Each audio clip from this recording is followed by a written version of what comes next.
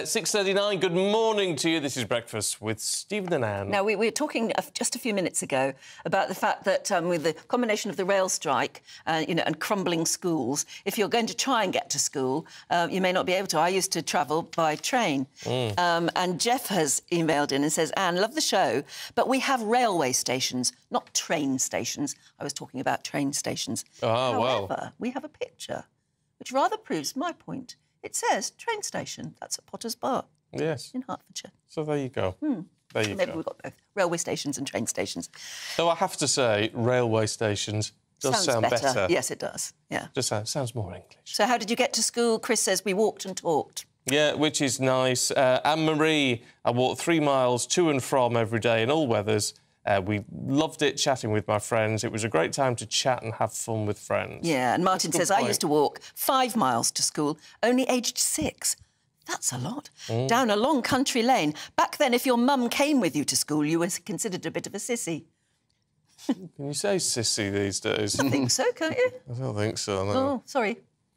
no I don't think It's so. It's acceptable to say sissy. It was one of those words that you used to use. It's, it's a bit. Am I being a bit woke? Yeah, you're being woke. You're being woke. Stop it at once. I always thought it was a bit homophobic. Never thought of it like that. Yeah. Oh. Yeah. Sorry. Because you were never at the other end of it, you see. That's No, right. uh, I see. Yeah, true. true. But if you think, oh, maybe you think I'm being a snowflake, which I would take great offence Oh, yeah, let us know if you think he's a snowflake. Oh, my God, can you imagine? gbviews at gbnews.com. Yeah, I'm no snowflake, believe you me. Uh, let's have a look at the Daily Mail. Hundreds more schools at risk, it says. Uh, education being thrown into chaos by the concrete crisis. And when will this school crisis end? asks parents on the front of the Times today. A concrete ticking time bomb hits hospitals. That's in the Express. And in today's Telegraph, the Home Secretary accuses woke police officers of damaging public trust in them. And for the star, temperatures may hit 30 degrees this month. So it says. I look forward to Fingers crossed. I hope it's sunny as well as warm. That's the point. Yeah, yes. Not yes. warm and, and sort of manky. Muggy. Yeah, it was the way it was a while ago. Manky. Man- Sorry, is that not a good word? No, either, manky's manky? great. Ah, good. Uh, let's talk to the assistant editor of The Spectator, Cindy Yu, and the political editor of HuffPost UK, Kevin Schofield. Good to see you both. Hi. this. Um, let's have a look at this Telegraph story, should we? Um, the Home Secretary says some police are damaging public trust. Yep, so Suella Braverman has given an interview to The Telegraph um, in which they're talking about Rwanda, talking about policing, immigration, all sorts of different things. But the biggest line from it is that she's going to push through reforms that uh, will basically help police commissioners to tell their local policemen not to be too woke. So stop taking the knee, stop opining on Extinction Rebellion or LGBT issues. Just catch the burglars. Just catch the burglars, which I think is very, you know, it's very understandable. But actually, it's something that the police chiefs themselves have been saying. So Mark Rowley, uh, the Met chief this week, has himself said, you know, you need, you can wear poppy, but anything more than that, politically speaking, as policemen, you don't need to opine on that. So this is good, you know, seeing going back to just basically standard level policing, and this is what we want, you know, actual crimes that are being uh, looked at rather than thought crimes. Someone said to me, I can't think who it was. It might have been. It might have been Kriss Akabusi, mm, uh, who said lately that what one of, rather than sort of say opining to these communities, um, the way you you you sort of um, get their approval, if you like, is solving crimes which are happening within their communities, and that's Yeah. all you need to do. Yeah, exactly. I think that's what people expect from their police officers. They're they're not really bothered about what, the, what their uh, political opinion is. And I, I guess this follows on from what Suella Braverman said earlier in the week about basically telling the police focus on crime, basically focus on solving crime, catching criminals, um, and you can leave all the other stuff to one side. I, it feels to me like she said this before. I'm pretty sure Oh, possibly. the attack on woke. I mean, she's attacked woke everything, but the woke police officers, I think, because that's under her remit. I'm pretty sure she said it before, but I've been in that position before where you've got an interview with the cabinet minister and they don't say anything particularly new, so you have to try and flam it up a little bit. So I think Beef that's it what maybe, maybe maybe what's happened. You would never do that, Kevin. I'm absolutely perish the thought. Perish No, no, no. I tell you what, though, what you've been looking at in the Times is this business of, you know, the, the, the wrong concrete um, and how many buildings it is uh, going to affect in the end. Well, it's scary. I mean, if you've got kids going back to school next week, um, you're dreading the, the email or the phone call from the school to say, actually, um, or having to close the school, um, which would be an absolute nightmare. Not long after the pandemic, obviously, and kids having to um, uh, learn from home then. But yeah, I mean, it, it looks as though this could potentially just be the tip of the iceberg. I mean, right now it's around about 150 schools have been identified, but it could be many more um, because there's, all the schools are now having to analyse their structures to see if this um, type. Are we over egging it a little bit though? In the, I looked at a list of schools that are now known to have be affected by this. There's only about 20 or 30 on the list, but a lot of them were saying you know they're having to delay the return to school by a day Yeah. or something like that. So it's actually not going to be that they're spending the next term working from home or whatever. No, I think you're right. I think, um, and I think the, the majority of them, uh, the schools will still open. There'll be the odd room in the class which might have to be made structurally safe. And I think the government is probably erring on the side of caution. But I guess that's understandable. What you Because don't chil- want yeah. is for God forbid something terrible to happen and it comes out that ministers were warned and didn't do anything about it. Um, but I think it's just the, the timing as much as anything, just before kids go back after the summer break. But it might not just be schools. I, I know at least a one court that's had to Yes. close, which and they're talking about hospitals potentially. So you know, this could really be a major. It's wherever this, this building material was used And it- 20 or 30 years ago. Well, yeah, between the f- 50s and the 90s. So it's a lot of buildings It is a that have been of built in that time. Um, Labour's calling for a review, you know, like structural reviews. Yeah. That's going to take. I mean, that could take years. It could take years, which is why they should have started in 2018 when this was first brought to the attention of the Department of Education because a school in Kent had their roof falling in. and luckily it was a Saturday, wasn't like it? And there a were no children there. Exactly. So had had they started in five years ago, the Yeah. review might be over now, and then the, the bolstering might be finished now. And I think the Times report has a very interesting part in it, which is that the reason they're doing it now is because last week another school collapsed. A school that had been rated safe. So, mm. frankly, they don't know which ones are safe and which ones are not. But if they thought the ones that they were Yeah. thinking were safe did collapse. So then, when Nick Gibb, the schools minister, says, "Don't worry, if your school's not on that list, you can send your kids to school." Well, it's not hugely reassuring. So, No. Labour have a point here, I think. Mm. But I don't know what we do about it because children have got to go to school, haven't they? Yeah, I mean, I, I, I suppose the, the systems are now in place for home learning as a result of the pandemic, but it is, having gone through it, it's Hugely far from unpopular ideal. and politically awful. It's just awful. And it feeds into this idea that Labour obviously are trying to push that nothing seems to be working right now. The, the public services are literally on their knees, um, and this is not good news for the government at all. Um, let's have a look at the Express. I can't imagine this going down well. This, this concern that the PM may want to bring in thousands of Indian students on visas. Yeah, so Sunak is due to fly to India next week because India is hosting the G20 summit, uh, and it's also going to be kind of the, the location for continuing to talk to India about a free trade deal. Remember, we're trying to be global Britain after Brexit. We haven't got a trade deal with the US. We no longer have a trade deal with the EU, so we're trying to get an India with a, a, trade deal with India. But what Modi wants uh, in return for that is more student visas for Indian students uh, to come over here. And you know, the university sector will say that's a good thing. The university higher education is one of the UK's greatest exports. La da da da da. But of course, that's riled some people up at a time when our, um, I think it's net migration. Oh, sorry, net yeah, net, net migration is over six hundred thousand. So you know, the question is, how is this going to go down? in the, yeah. yeah, do we have this infrastructure for it? And also, how is it going to go down in the Conservative Party, which is already iffy about migration? Mm. Um, very interesting times.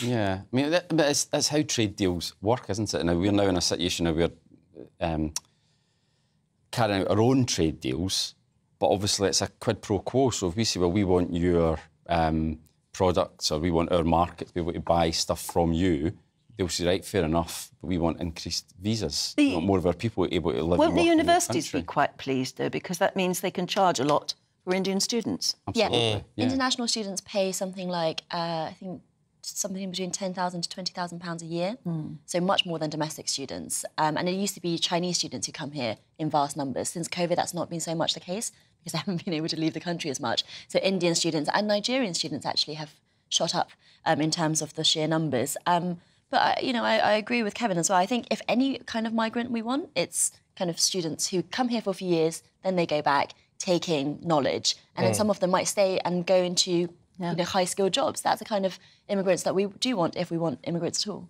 You can see how like, Conservative MPs are already pretty nervous, not very happy with things are going. I can understand this. You can see this becoming a political issue for the Prime Minister without a doubt. Definitely. Um, now, this is an interesting one, Kevin. In the Guardian, um, the, the, I mean, the f- former uh, MPs and ministers and secretaries of state, oh, you want they want other jobs. Yeah. I mean, fair enough. Um, but what about George Eustice, the former Environment Secretary? Yeah, so he um, stood down um, as environment secretary. He's standing down as an MP at the next election. Now he's taking on a thirty-six thousand pounds a year consultancy job with uh, a waste treatment company called um, Augean Limited. Now. Uh, it's controversial. I think people um, it sticks in their craw a little bit when you see politicians, you know, capitalising on their experience as public servants. Um, what's interesting in particular about this one is that this uh, company were found to have contaminated um, groundwater at a site and were um, uh, investigated by the Environment Agency. So the Guardian are saying, well, hang on a minute, should you really be taking a job with, you know... Well, not if they've cleaned up their act. Well, the, the thing is, as well, what I was thinking, I mean, if you're being fair to them, you could say, well, you know, if they want to make sure they don't make that mistake again, Yeah. he's the guy Yeah. to come in. You know, he knows how the government works. He knows the department very well, so he can give them that type of advice. I think where it becomes a little bit murky is whether he is going to be lobbying um, on behalf of the, the company. Now, he's not allowed to do that until September next year under the rules. So, what's his job title? Do we know? Uh, uh, it's a consultancy role. Which oh, it's mean- consultancy. Oh, Oh, right, nice. It's a nice, wide-ranging uh, brief. Very. Um, so, so yeah, they're, they're. We're going to see a lot on- of this in, in the next few months, aren't we? Well, there's so many, MPs don't who know they're either, either going to lose their seat or standing down. there's loads will be already, looking right, yeah. for really nice jobs. The market will be flooded. Mm, it with will. MPs. Like the groundwater. Jobs. Yeah, Yeah. Yeah, indeed. So What do you make of it, Cindy? Well, George Eustice says that he was a farmer before he became a politician. You know, he's got all this agricultural knowledge that he's tapping into. It's not just about his minister role, which, as Kevin says, he's not technically allowed to use until next September anyway. So he's saying, look, they would want me anyway. But Yeah. there is a question over, you know, how much does being a former cabinet minister really weigh into how much this company wants him? But then, you know, if Labour win the next election, that, that, that kind of government contact is not going to be useful to the company for much longer. Why, why are we sort of year. raising our eyebrows over things like this? I mean, Jonathan Van Tam going to work for Moderna. Um, why do we feel that's there's something wrong with this? Using, using your experience, yes, albeit in government, and then with that experience, obviously it makes you a candidate for interesting jobs. Why not? It does, yeah. I just think people, um, it, it rests uneasily with them that they see people, and this is how it's perceived. I'm not saying this is how uh, it actually works, but it's perceived that you know these people who gain this knowledge and experience through public service and then are, you know, making money out of it. Um, but you know, if they're the right person for, for the job, then why why shouldn't they be employed? Yeah. I think there's also a revolving door thing, right? If, if George Eustice used to be the regulator or used to be in charge of regulations for the, in this industry, after he stops being that, he goes into private sector. What if he comes back into the regulation role again? That revolving door is actually quite common in Westminster, and I think that's the difficulty there, where regulators are captured because they think later on in life I might get a private contract or whatever it is, or at least that's that's the fear. Yeah. And occasionally that does come to light um, with with um, some certain companies. Uh, but yes, most of the time it's probably very very above board. Yeah. Um, let's have a look at rent, should we, in the I weekends, uh, Cindy, which is. Well, look, we, we know all housing costs are going up, but, but it, it is significantly worse for renters, or a lot of renters. Yeah, and this is something quite close to my heart because I, I rent at the moment, but I'm trying to buy. And in the political discussion, we talk so much about homeowners and mortgage rates going up and the cost of living crisis for homeowners. But actually, there's very little scrutiny about what's happening in the rental market. Renters have very little power, and so there's an organisation called Generation Rent, um, and which has worked with the I to have this data being done. And actually, what they found is that rent has gone up by almost just as much as mortgages have gone up during the cost of living crisis. And yet, renters had a higher starting point as well. And so, if you're a mortgage holder as well, you can remortgage to a low, lower mortgage or something like that if you go for a longer, uh, longer, longer time period. For renters, you don't have that option. And it's just dead money.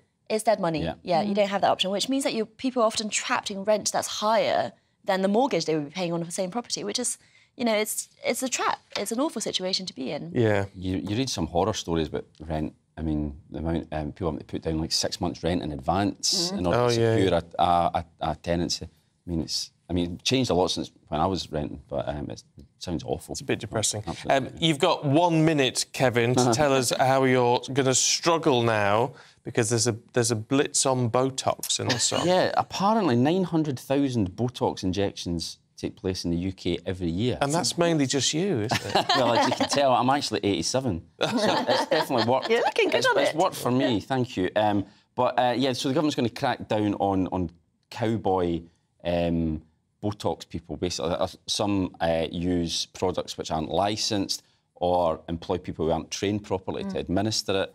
Uh, the, the Sun has got a campaign going to try and crack down on this, and the government say they're going to tighten up the rules so that um, when you get Botox, You know, we've been talking about this, the fact that unlicensed people can give you Botox. I mean, we've been talking about that for years, fi- and nothing's been done. It's Poison. but it's fillers. I'd be more worried about fillers, mm. which are covered in this as well, because they're they can actually have a longer lasting impact, can't Yeah. Well, I was having a conversation with the girls in the office at Spectator about how Botox for girls that they know has become almost like a self-care thing to do. It's like doing your nails just to get a Botox in your 30s or your 40s. And I'd never heard of that before. So it's just this normalisation of plastic surgery. Yeah. Oh, it's a bit worrying, I have to say. Um, Cindy, Kevin, we've got to leave it there. Thank you very much indeed. Good to see you this morning. Um, now, let's see what the weather's going to do. It could be good news. Here's Aidan.